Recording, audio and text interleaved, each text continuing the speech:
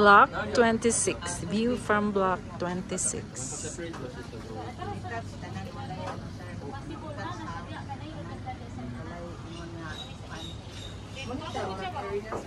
Block 26 is near, it includes Crestwood Park. Block 26.